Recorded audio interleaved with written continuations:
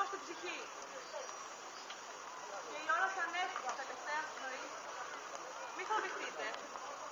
Της Δήμητρας να θυμηθείτε το μεγάλο δώρο. Στο θάνατο ακολουθείτε τον ήλιο που έρχεται στο σκοτάδι. Προσιλωθείτε σε αυτό. Και ελεύθερο το πνεύμα να κινηθεί προς το μεγάλο φως.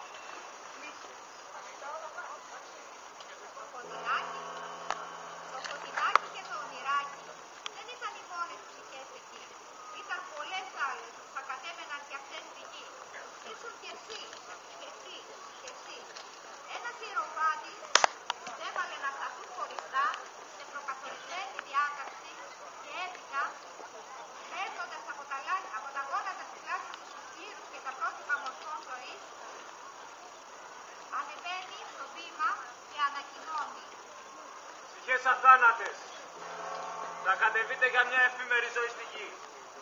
Τώρα ξεκινά μια νέα περίοδος για σας. Μια νέα γέννηση σε σώμα που θα καταλήξει σε θάνατο του σώματος και την επιστροφή σας και πάλι εδώ. Δεν θα δοθείτε με κλήρωση σε κάποιον φύλακα άγγελο, αγαθοδαίμονα, αλλά θα τον επιλέξετε εσείς οι ίδιοι. Και αυτός, στον οποίο θα πέσει ο πρώτος κλήρος, πρώτος αυτός σας διαλέξει μορφής ζωής με την οποία αναγκαστικά θα συμπορεύετε. Όσο για την αρετή, δεν είναι στον ορισμό κανενός. Ανάλογα με το πόσο τη τιμά η κάθε μία ψυχή ή τη δείχνει περιφρόνηση, θα πάρει μεγαλύτερο ή μικρότερο μερίδιο απαθής. Η κάθε μια σας υπεύθυνη για την επιλογή της. Οι θεοί απαλλάσσονται από την ευθύνη.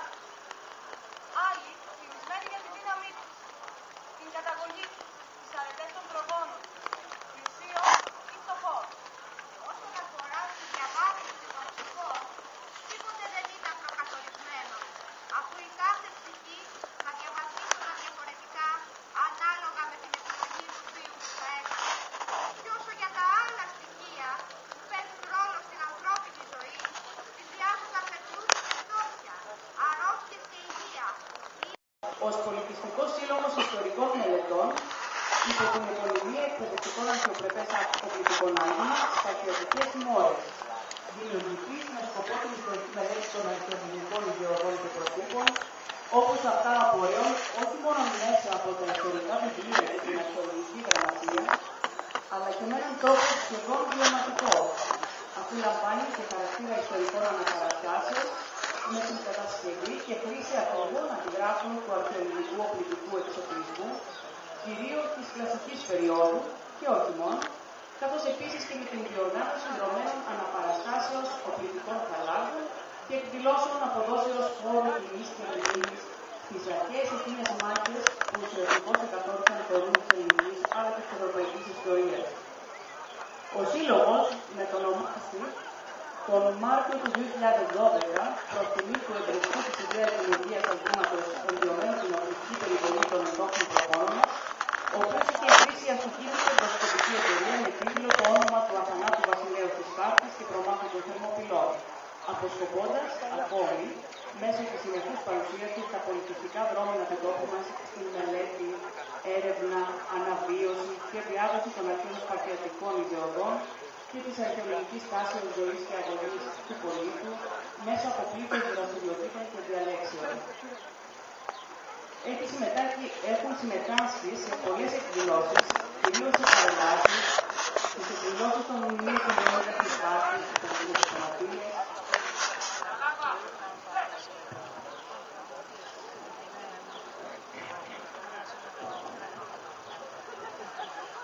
Στη Σαλαμίνα, αρκετές φορές, δηλαδή από το 2008 βλέπουμε μέχρι και το 2012, ε, για τη μάχη του Μαραθώνου, επίσης έχεις συμμε- έχουν συμμετάσχει συγγνώμη και σε γυρίσματα ντοκιματέρ με θέμα τη μάχη του Μαραθώνου ε, και σε διαλέξεις στο πραγματικό κέντρο του Δήμου Ελευσίνα, του Δήμου Βύρονα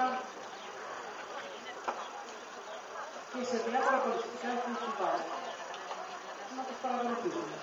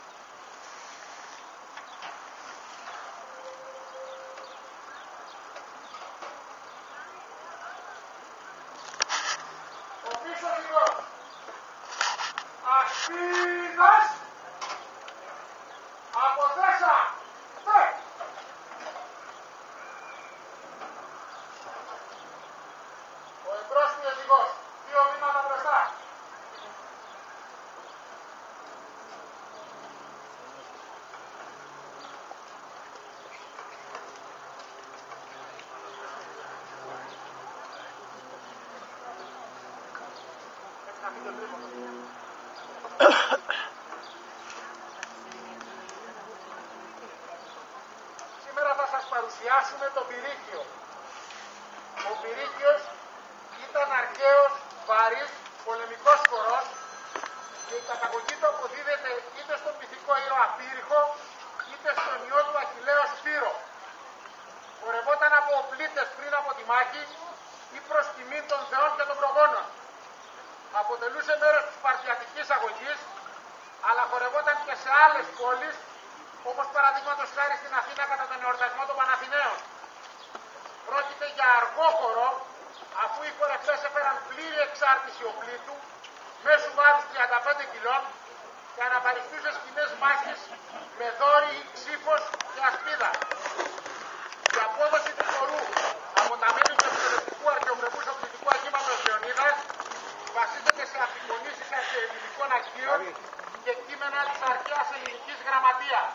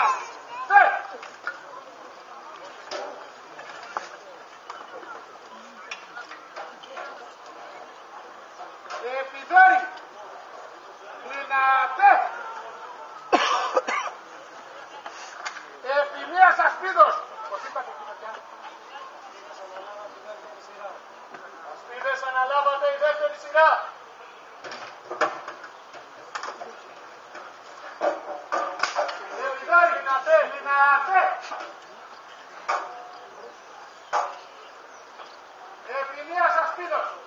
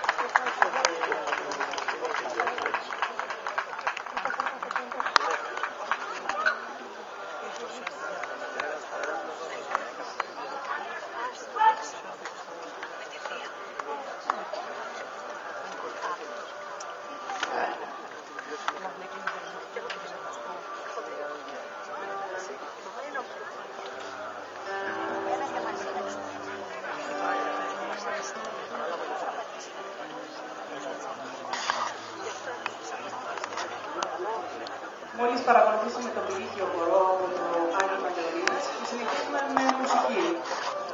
Έντεχνη, λαϊκή και παραδοσιακή μουσική με το μουσικό σχήμα και τον Νεκτάριο Χατζηδάκη. Πρόγραμμά του.